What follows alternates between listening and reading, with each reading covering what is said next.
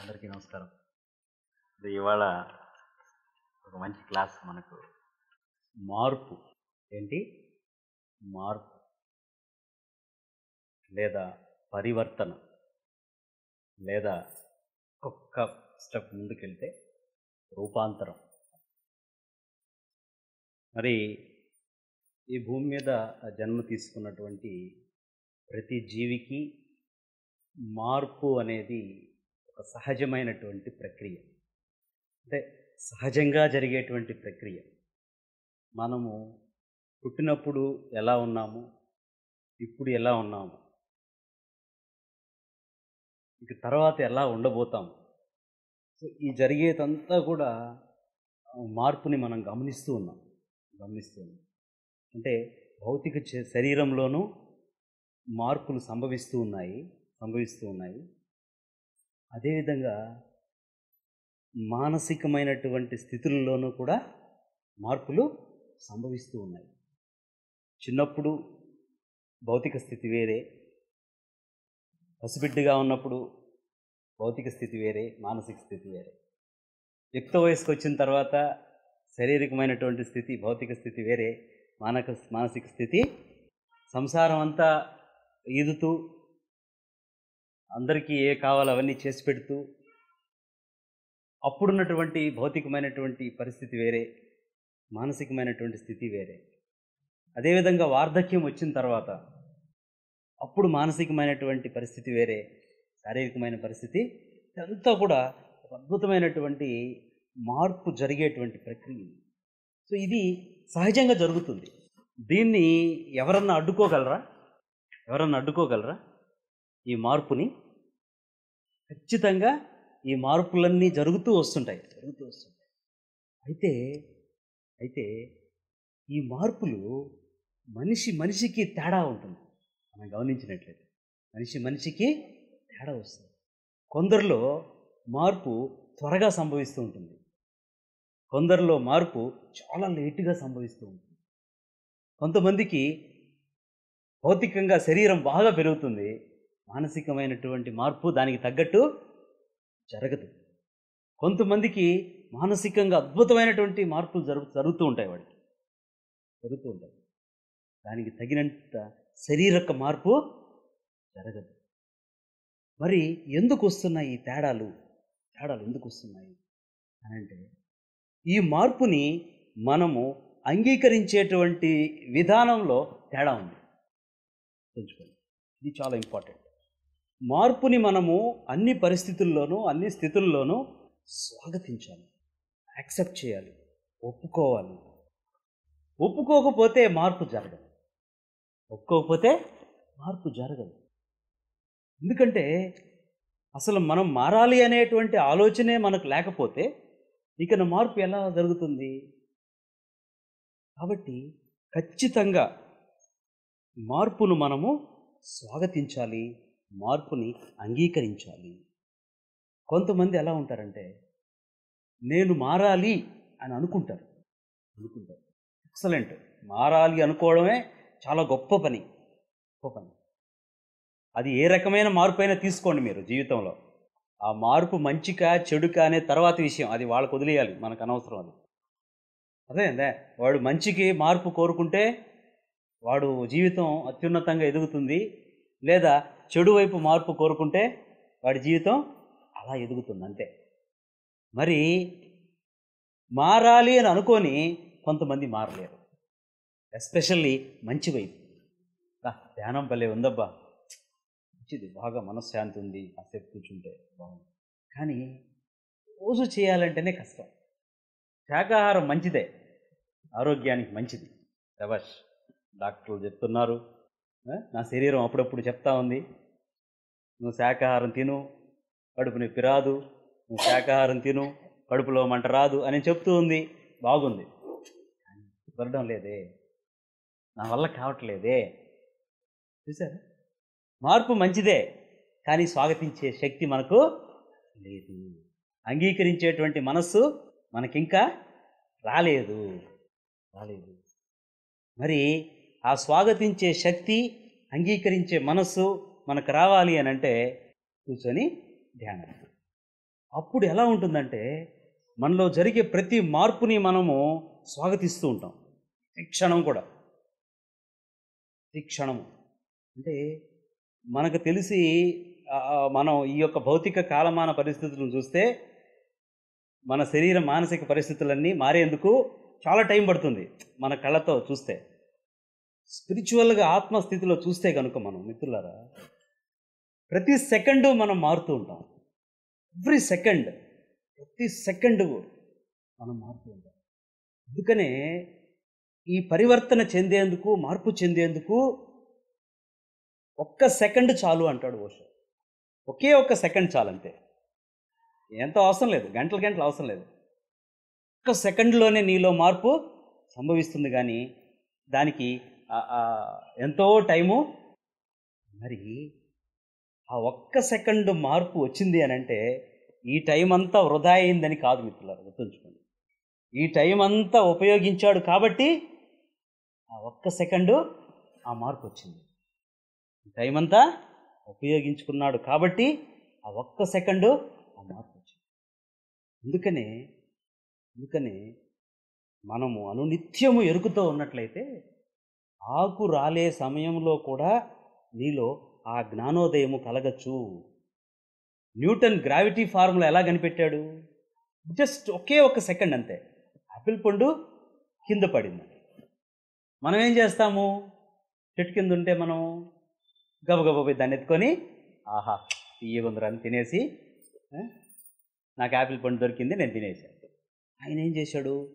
ఆ క్షణం ఆలోచించాడు. సార్ అది ఆయనలో వచ్చినటువంటి మార్పు.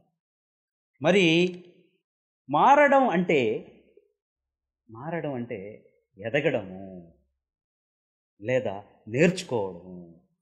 ఇది మారడం. మారడం అంటే ఇంకేమి పెద్ద ఏం కాదు ఆడ. నేర్చుకుంటున్నాం మనం ఆడ. నేర్చుకుంటున్నాం. భార్య తొడబెల్లం పెట్టిందనుకో ఓహో ఈ పని చేశాను కాబట్టి తొడబెల్లం రేపు ఆ పని చేయకూడదు. ఇది నేర్చుకోవడం. అప్పుడు ఏం చేసాము? ఎదిగాం కొంచెం ఎదిగాం మనం. ఒక మెట్టు ఎదిగాము కాబట్టి ఈ మార్పు అనేది మన ఎదుగుదలకి ఒక మెట్టు లాంటిది. మెట్టు లాంటిది. ఇక్కడ రెండు రకాల మార్పులు ఉన్నాయి. ఆత్మపరమైనటువంటి మార్పు ఆత్మపరమైనటువంటి ఎదుగుదల ఆత్మపరమైనటువంటి శిక్షణ భౌతికమైనటువంటి మార్పు భౌతికంగా ఎదుగుదల భౌతికపరమైన శిక్షణ జరుగుతుంది. రెండు జరుగుతుంటాయి. అంటే మన ఆత్మ ప్రతి దశలోనూ ప్రౌఢాత్మ నుంచి వృద్ధాత్మ వరకు ఎదుగుతూనే ఉంటుంది అది. అదే అందే. ప్రౌఢాత్మ బాలాత్మ యవనాత్మ అదే. వృద్ధాత్మ ఇట్లా అది స్టెప్ బై స్టెప్ ఎదుగుతూనే ఉంటుంది. ఎలా ఎదుగుతుంది అంటే ఎలా ఎదుగుతుంది అంటే జ్ఞానము పొందడం ద్వారా ఆత్మ ఎదుగుతుంది. ఆత్మ ఎదుగుతూ ఉంటుంది. అలాగే భౌతికపరమైన మార్పు కూడా జరుగుతూ ఉంటుంది. అంటే మన శరీరంలో మార్పులు వస్తాయి మన స్థితుల్లో మార్పులు వస్తుంటాయి మన పరిస్థితుల్లో మార్పులు వస్తుంటాయి. చూసారా? ఇవన్నీ భౌతికపరమైనటువంటి మార్పులు. ఒకప్పుడు ఉద్యోగం లేదు తర్వాత ఉద్యోగం వచ్చింది. ఒకప్పుడు భార్య పిల్లలు లేరు ఇప్పుడు భార్యా పిల్లలు వచ్చారు. సంసారం ఏర్పడింది సంఘం ఏర్పడింది. చూసారా రకరకాలైనటువంటి పరిస్థితులు ఏర్పడ్డాయి. ఒక పక్క కాసేపు సంతోషం ఉంది కాసేపు దుఃఖం ఉంది. అర్థమైందా? ఇట్లాంటి పరిస్థితులన్నీ మనకు ఏర్పడుతూ వస్తాయి. భౌతికమైనటువంటి పరిస్థితులు ఏర్పడుతూ వస్తాయి. మరి ఈ భౌతిక పరిస్థితుల ద్వారా ఆత్మ జ్ఞానం పొంది ఆత్మ కూడా ఎదుగుతూ వస్తుంది. ఎదుగుతూ వస్తుంది. సో ఆత్మపరంగా మారుతూ ఉండాలి భౌతిక పరంగా కూడా మారుతూ ఉంటాం ప్రతి క్షణం మనం. చిన్న మార్పు పెద్ద జీవితం. ఒక చిన్న మార్పుతో మనం అత్యంత అద్భుతమైనటువంటి జీవితానికి మనం నాంది పలకచ్చు. ఉదాహరణకి చెప్తాను మనకు అంత అర్థం అవ్వాలని అంటే మంచి ఇల్లు కట్టుకున్నామండి. కోటి రూపాయలు పెట్టి ఇల్లు కట్టించాం. ఇల్లు కట్టించాం. కట్టిస్తే ఆ ఇంట్లో నివసిస్తూ ఉన్నాడు అతను. ఆ వ్యక్తి నివసిస్తూ ఉంటే ఆయనకి ఎక్కడో మూల ఒక మూల ఏదో లో కనబడి తెలుస్తూ ఉంది. దుఃఖం ఉంది బాధ ఉంది కష్టాలు వచ్చాయి బాధలు వచ్చాయి. అతను ఏమనుకుంటున్నాడంటే ఈ ఇల్లు కట్టినందువల్లే నాకు ఈ ఈ బాధలు ఈ కష్టాలన్నీ వచ్చేసాయి అని ఆ మూల ఎక్కడో అతను శంకిస్తూ ఉంటాడు. వెంటనే ఎక్కడికి వెళ్తాడు అతను? మంచి వాస్తు దగ్గరికి వెళ్ళి ఆయన తీసుకొస్తాడు. ఆయన ఏం చెప్తాడు తెలుసా? కోటి రూపాయలు వీళ్ళని కొట్టిమంటాడా కొట్టేసి పక్కన కట్టుకొని ఆయన అంటాడా? ఆయన అన్నాడంటే వీడికి అప్పుడే గుండె ఆగిపోద్ది ఇక్కడ. ఏం చెప్తాడు? ఏం లేదండి ఎంత బ్రహ్మాండంగా ఉంది. ఇదిగో ఆ కిటికీ ఉంది చూశారు? ఆ కిటికీని మూసిండు సార్. అది అనవసరంగా పెట్టారు అక్కడ పెట్టకూడదు. మీకు ఎవరు చెప్పారో నాకు తెలీదు. జస్ట్ దాన్ని మూసేసి ఆ పక్క కిటికీ పెట్టండి ఎప్పుడైతే ఆయన ఈ కిటికీ మూసి ఆ కిటికీ తెరిచాడో అప్పుడు ఆయన లోపల ఉన్న ఆ శంఖం పోతుంది. అప్పుడు ఏమవుతుంది తెలుసా ఆయనకి? అన్నీ మంచి జరగడం జీవితంలో అబ్బా జరగలేదనుకో వ్యాపారం బ్రహ్మాండం జరుగుతుంది. అప్పటి వరకు నసబెట్టిన భార్య బాగా చూసుకుంటుంది. ఆ, ఆ, సరికాని బిడ్డలందరూ కూడా సరిగా అయిపోతుంటారు. అబ్బా, చూసావా? ఇంత చిన్నది ఆయన వస్తాయని చెప్పాడు. ఏం చెప్పాడు అబ్బా చాలా గొప్ప ఆయన. అంటే చిన్న మార్పు చేసుకున్నందువల్ల పెద్ద జీవితం మనకు అలాగే మన భౌతిక జీవితంలో కూడా జీవితం ఒక చిన్న మార్పుని మనం స్వాగతిస్తే మన పెద్ద జీవితాన్ని మనము గడుపుతాము అద్భుతమైనటువంటి జీవితం కూడా ఏంటి ఆ మార్పు అని అంటే ధ్యానాన్ని మన జీవితంలోకి ప్రవేశపెట్టుకోవడమే మనము పొందేటువంటి మార్పు. ఒక్క చిన్న ధ్యానం అనేటువంటి ఆ రెండు పదాలని మన జీవితంలోకి చేర్చుకునేసామనుకో చేర్చుకునేసాం. రెండే రెండు పదాలు అంతే. రెండే రెండు అక్షరాలు. ధ్యానం. మరి యాభై ఆరు అక్షరాలు ఆనందమే మనకు. రెండు అక్షరాలు పట్టుకుంటే చాలు. మరి అంత చిన్న మార్పుతో అద్భుతమైనటువంటి జీవితాన్ని మనము గడపవచ్చు. మారాలి అనేటువంటి తపన లేదా కోరిక ఎంతో అవసరము. తపన ఉండాలి దేనికైనా. ఏముండాలి? నేను మారాలంటే ఈ క్షణం నేను ఎలా ఉన్నా? నెక్స్ట్ క్షణం. నెక్స్ట్ గంట నెక్స్ట్ రోజు కాదు. నెక్స్ట్ క్షణం నా జీవితం అద్భుతంగా ఉండాలి. గుర్తుపెట్టుకో అంటే నెక్స్ట్ క్షణం అని ఎందుకు అంటున్నాం అంటే దట్ ఈజ్ వెరీ ఇంపార్టెంట్ అది చాలా అద్భుతమైనటువంటి క్షణం మనకు. అన్నింటికీ కూడా. అన్నింటికీ కూడా. అంతేగాని రేపు ఎల్లుండి ఆ మన్నాడు అయి కాదు. ఈ క్షణం నా జీవితం ఎలా ఉన్నా సరే నెక్స్ట్ క్షణం నా జీవితం అద్భుతంగా తయారవుతుంది. ఆ తపన ఆ కోరిక మనకు బలంగా ఉండాలి. తపన లేకపోతే కష్టం. ఆ తపన అనేది లేకపోతే మార్పు రాదు. తపన ఉండబట్టే కదా వీడికి పరిగెత్తాము. పక్కనోడు క్లాస్ ఫోన్ చేసి పిలుస్తున్నా కూడా. ఎస్ మీరందరూ ఇక్కడికి ఎందుకు వచ్చారు? తపన ఉంది. నేను ఈరోజు ధ్యానం చేయాలి. ఏదో కొత్త విషయం నేర్చుకోవాలి కొత్త శక్తిని పొందాలి అనేటువంటి తపన మనలో ఉంది కాబట్టి మనం పరిగెత్తుకుంటూ వచ్చాం ఇక్కడికి. సో ఈ తపన ఉంటే అద్భుతమైనటువంటి మార్పులు మన జీవితంలో జరుగుతూ వస్తాయి జరుగుతూ వస్తాయి. లోన మారితే బయట మారుతాం. ఇది చాలా ఇంపార్టెంట్. మన లోపల మనము మారాలి. అంతరంగంలో మార్పు భౌతిక జీవితంలో అద్భుతమైనటువంటి భౌతిక జీవితంలో పరిస్థితులు ఇబ్బందికరంగా ఉన్నాయి చిక్కుముళ్ళు ఉన్నాయి పరిస్థితులు రకరకాలుగా ఉన్నాయి అని అంటే ఎస్ మనం చేయాల్సింది అక్కడ ముళ్ళిప్పుకుంటా కూర్చుండడం కాదు. కళ్ళు మూసుకొని అర్థమైందా? కాళ్ళు కట్టేసుకొని చేతులు కట్టేసుకొని కూర్చొని ధ్యానం చేయడం ఒక అద్భుతమైన ఒక సంకల్పం పెట్టుకునేసి కూర్చొని ధ్యానం చేస్తే ఆ చిక్కుముళ్ళన్నీ భౌతిక జీవితంలో ఒక్కొక్కటి ఒక్కొక్కటి విడిపోతూ వస్తాయి అంతే. చక్కగా విడిపోతూ వస్తాయి. ఇది మనము చేసే కొద్దీ చూస్తాం. చేసే కొద్దీ చూస్తాం. మన అంతరంగంలో ఫస్ట్ మనం మార్చుకోవాలి. మా ఇంటి ఆయన సరిగా లేడు అని అంటే ఆయన అలానే ఉంటాడు. మన అంతరంగం మార్చుకోవాలి. కుటుంబ పరిస్థితులు సరిగా లేవంటే మనం లోపల మార్చుకోవాలి. ఎందుకని అలా మార్చుకుంటున్నాం అని అంటే ఎందుకని అలా మార్చుకుంటున్నామంటే అంతరంగ ప్రతిరూపమే బాహ్యము కాబట్టి. సరే. ఆ అంతరంగానికి ప్రతిబింబమే బాహ్య జీవితం. బాహ్య జీవితం. అందుకని మనసు ఎంత ప్రశాంతంగా ఉంటే మన జీవితం అంత ప్రశాంతంగా ఉంటుంది. అంత ప్రశాంతంగా ఉంటుంది. సో మారవలసింది ఎక్కడ? అంతరంగంలో మారాలి. అంతరంగంలో మార్పుని మనము తెచ్చుకోవాలి తెచ్చుకోవాలి. అందుకనే ఇప్పుడు ఇలా సంకల్పాలు పెట్టుకునేసి మనము కూర్చొని ధ్యానం చేయాలి ధ్యానం చేయాలి. మారడం అంటే మారడం అంటే ఉన్నవి పోగొట్టుకోవడం కావలసినవి తెచ్చుకోవడం. ఇది మారడం అంటే. అదేందే మనకున్నవన్నీ పోగొట్టుకుంటుంటాం. ఏంటి ఆ ఉన్నవి అంటే? అహంకారము మమకారము భలే కారాలు ఈ రెండు. అన్ని కారాలు మిరియాలన్నీ కూడా పోతాయి. అన్ని స్వీట్స్ మనకు వస్తుంటాయి మనకి ఏం కావాలో అవి తెచ్చుకుంటుంటాం. ఏం వద్దో అవన్నీ పోగొట్టుకుంటుంటాం. మొన్నటి దాకా నేను మా ఆయన ఒక్క మాట అంటే తట్టుకునేది లేదండి. ఇప్పుడు ఆయన ఏమన్నా నవ్వేస్తున్నానండి ఎక్కడి నుంచి వచ్చింది? ఆ కోపము పోయింది. ఏం పోయింది? ఆ కోపాన్ని పోగొట్టుకున్నాము. ప్రేమని తెచ్చుకున్నాం. మొన్నటి దాకా పిల్లకాయలు నేను బాగా చితక బాధేదానండి ఇప్పుడు వాళ్ళు ఎంత రచ్చ చేసినా ఎంత హ్యాపీగా భరిస్తున్నానండి. కారణం ఏంటి? ఏంటి వాళ్ళ పట్ల ఉన్నటువంటి ఆ భావన ఆ పరిస్థితి పట్ల ఉన్న భావన పోగొట్టుకున్నాము. మంచి భావాన్ని తెచ్చుకున్నాం. అలాగే మన జీవితంలో కూడా కొన్ని కొన్ని పోగొట్టుకుంటుంటాము కొన్ని కొన్ని తెచ్చుకుంటాము. ఈ మధ్యలో మారుతూ ఉంటాం మనం మారుతూ ఉంటాం. మరి ఈ యొక్క మార్పు అనేది పరివర్తనగా మార్చ పరివర్తన అవుతుంది. మార్పు అనేది చాలా చిన్న విషయం. చాలా చిన్నది మార్పు అంటే మారడం అంటే.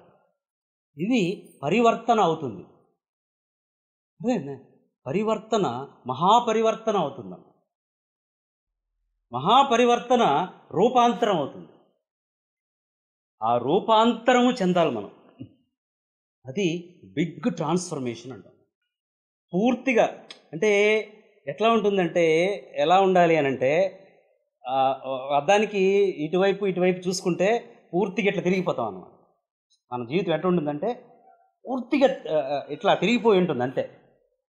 ఇది పరివర్తన అంటే. అంటే ఒకప్పుడు నేను ఇప్పుడు నేను ఇవి రెండు చూసుకుంటే అస్సలు నిజంగా పోలికే ఉండదు. ఇంకే ఉండదు. అలాంటి రూపాంతరం చెందుతాం మనం. ఒక బుద్ధుడు ఒక జీసస్ క్రైస్ట్ వీళ్ళందరూ కూడా అలా రూపాంతరం చెందిన వాళ్ళేను. పైకి ఇంతే కనబడుతుంటాం అందరికీ మళ్ళా. పైకి ఇంతే బుద్ధుడు సిద్ధార్థుడిగా వెళ్ళి బుద్ధుడుగా వచ్చాడు. అవునా? మరి వాళ్ళ నాన్నకి తను సిద్ధార్థుడుగానే కనబడ్డాడు చివరిదాకా. చివరిదాకా? అరే నా ముందు నువ్వు నిక్కర్లు వేసుకొని తిరుగుతున్నారు అది నువ్వు. ఇప్పుడు ఎస్ అట్లే అంటారు. ఆయన అద్భుతమైనటువంటి శక్తిగా తయారైన తయారైన విషయము విషయము వాళ్ళకి తెలియకపోవచ్చు. అవసరం లేదు. మనకు అది అవసరం లేదు. ఇతరులు ఎలా అనుకున్నా మనము ఎలా మార్పు చెందుతున్నాము ఎలా రూపాంతరం చెందుతున్నాము అనేది చాలా ముఖ్యం మనకు. మరి ఈ రూపాంతరము చెందడము అంటే రూపాంతరము చెందడము అని అంటే ఏంటంటే మన నిజ స్థితికి మనము చేరుకోవడము. రూపాంతరం చెందడం అంటే మన నిజ స్థితికి మనము చేరుకోవడము. శరీరంతో వచ్చాము ఆత్మగా వెళ్ళాలి. ఇది రూపాంతరం అంటే. ఎంతసేపు నేను శరీరాన్ని నేను శరీరాన్ని నేను శరీరాన్ని ఆయనని కొట్టుకులాడుతూ ఉంటే శరీరంగానే అదే శరీరం మనసు అవ్వాలి మనసు బుద్ధి అవ్వాలి బుద్ధి ఆత్మ అవ్వాలి ఆత్మ పరమాత్మ అవ్వాలి. ఇది రూపాంతరం. సో మన నిజ స్థితికి మనము చేరుకోవాలి. ఏంటి మన నిజ స్థితి అంటే? ఎవరిని వారు తెలుసుకోవడమే నిజ స్థితి. నిన్ను నువ్వు తెలుసుకోవడమే ఇదే బిగ్ స్పిరిచువల్ ట్రాన్స్ఫర్మేషన్. ఆధ్యాత్మికమైనటువంటి పరివర్తన అంటే ఏంటంటే నిన్ను నువ్వు తెలుసుకోవడమే. తెలుసుకోవడమే. మరి దానికోసమే ఈ యొక్క సాధనంతా మనము చేస్తూ ఉన్నాము. ఇకన మనల్ని మనం తెలుసుకున్న తర్వాత ఇక అంతకంటే ఇక లేదు. ఇక అటు తర్వాత లేదండి గుర్తుపెట్టుకోండి. ఇక అటు తర్వాత ఇక లేదు. వన్స్ మనం మనం ఎవరు ఏంటి అని తెలుసుకునేసిన తర్వాత అదే ఒక పెద్ద ట్రాన్స్ఫర్మేషన్ దానికోసమే ఈ భూమి మీద ఈ జన్మ ఈ శరీరము ఈ పరిస్థితులు అర్థమైందా? ఈ ధ్యానాలు ఇవన్నీ మనకు వచ్చాయి. కాబట్టి మనిషి అనేవాడు ప్రతి స్థితిలోనూ మారుతూనే ఉండాలి ఎదుగుతూనే ఉండాలి ఆనందంగా జీవిస్తూ ఉండాలి.